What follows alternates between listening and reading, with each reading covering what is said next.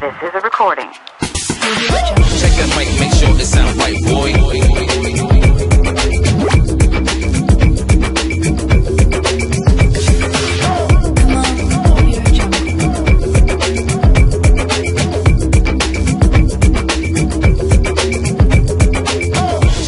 Hola gente, muy buenas. Eh, en este vídeo quería hacer como un... No es un tutorial, quería hacer más como, como un review de, de este objetivo. Es el que me venía con la cámara. Eh, es el Canon EFS 1785 milímetros. Eh, es un objetivo maravilloso y ahora os voy a decir por qué.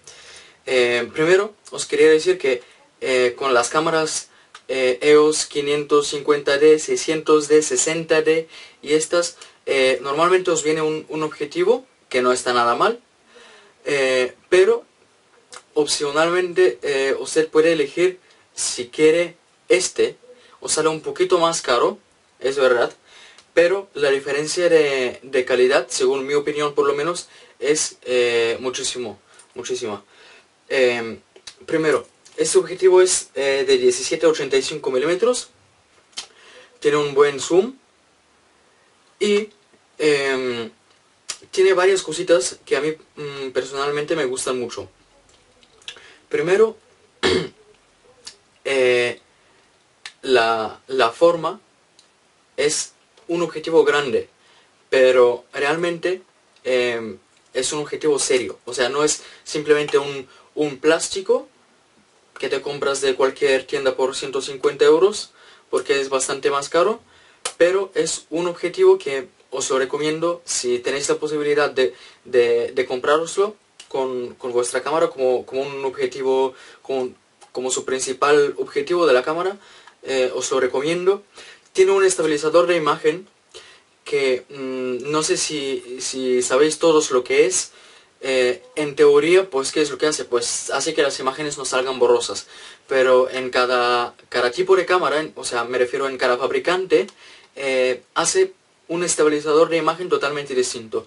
Hay, por ejemplo, los Olympus, lo que hacen es, cuando tú activas el estabilizador de imagen, lo que hace es subir la ISO.